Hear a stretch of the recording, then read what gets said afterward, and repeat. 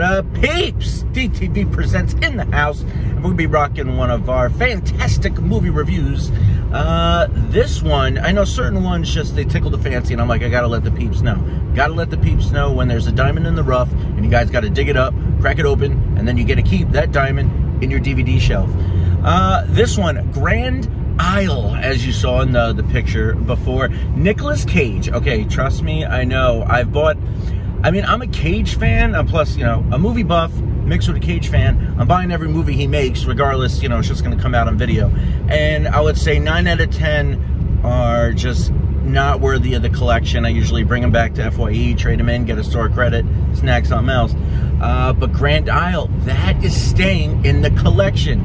You're going to see it at Best Buy, you're going to see it at Target, you're going to see it at Walmart. Snag it, bag it uh, throw it in the collection. I mean, if you see it on Netflix, sure. If that's not your thing to buy them, then obviously click on it, watch it, enjoy it. Let's give you a little thing about the movie. like, what the hell is this movie about? Nicolas Cage looks like a freaking pedophile on the poster, and he and well, he's not a pedophile, but he is creepy as all hell, which uh, is perfect. You want um, I don't need Cage to always be, uh, you know, being Castor Troy face off, giving crazy faces and screaming and all that stuff. A lot of movies like, uh, what is it, Mandy and all that stuff, they try to, they try to do that. They think that's a strong point. No, man, let the, the he was killing it as a creepy dude in this one. He's a creepy dude. He's married to a very, very, very uh, sexy lady. I, I don't know what her name is. It's like basically Nicolas Cage and Kelsey Grammer are in this movie.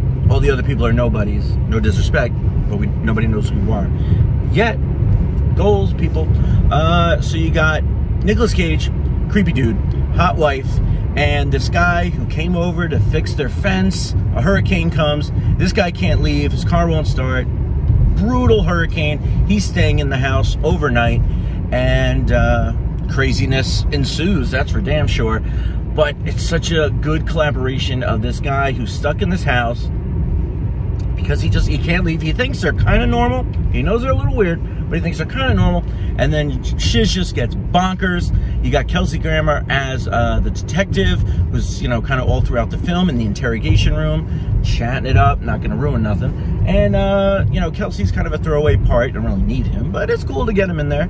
And then uh, yeah, it's it's a cool flick because you don't know what's really going to happen next.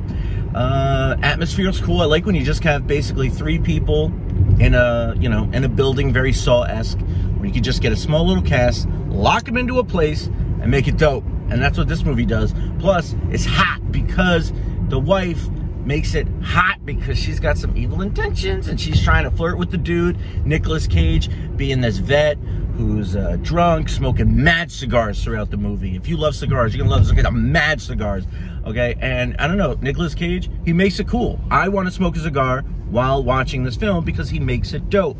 So, uh, yeah, I mean, for a movie to make me want to smoke a cigar, I think that's something right there. So you got an awesome flick.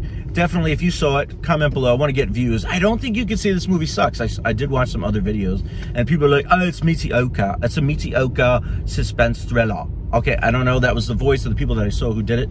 And um, they're totally wrong. They don't like badass films. And that's what DTV does. We we love badass films.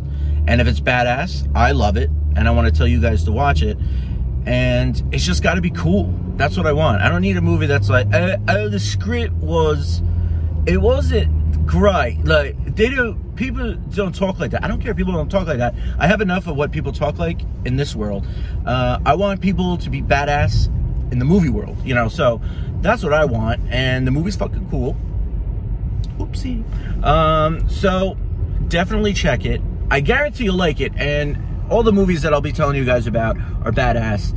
So uh, subscribe if you want to know about badass films, and uh, I will bring it to you. Peace out, peeps. Comment below. What did you think? Guarantee you like it. On a scale of 1 to 10, I'm going to give this uh, like an 8.5. But what's most important is it is worthy of a Blu-ray 4K uh, spot in your collection, unlike other films that need to go to FYE and or other ones that need to just go into the trash can. So peeps, snag it, bag it. It's beautiful, nice little box cover. He looks like a freak, but hey, it's Nick Cage. He's allowed to. Bye-bye.